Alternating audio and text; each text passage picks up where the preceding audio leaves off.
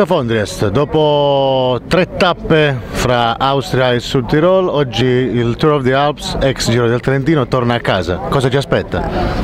Penso che sia stata la, la soluzione migliore eh, dare all'ex Giro del Trentino una, un po' più di internazionalità perché eh, con i cambiamenti che ci sono stati negli ultimi anni nel, nel ciclismo eh, era, bisognava avere una corsa tappa un po' più lunga, quindi 5 giorni sono già, già buoni e in preparazione al Giro d'Italia. Difatti si vedono i risultati, molte squadre Pro Tour che, vengono, che sono presenti qua, quindi a livello mediatico, a livello di visibilità questa è la soluzione migliore. Avremo due tappe impegnative come del resto tutto questo giro, oggi si arriverà proprio al mio paese a Cles con un finale duro però penso che potrebbero arrivare una quindicina di corridori.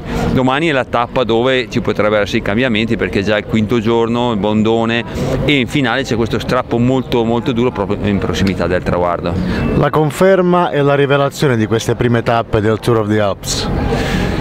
Ma rivelazione da una parte Geraint Thomas è una rivelazione fino a un certo punto, però eh, Geraint Thomas eh, quest'anno punta a far bene al Giro d'Italia, quindi può essere la, la rivelazione perché eh, ne, negli anni scorsi non abbiamo mai visto Geraint Thomas a, eh, puntare a una grande corsa tappa, quindi se vincesse magari questo Giro Tour des Alpes eh, e, e, lo vedremo protagonista al, al Giro d'Italia sarebbe sicuramente la sorpresa. Celano è il corridore fra i ragazzi giovani che è sempre arrivato nei, eh, nei, nel primo gruppo, quindi penso che sia la rivelazione di questo giro. E per il Giro d'Italia invece qualche nome?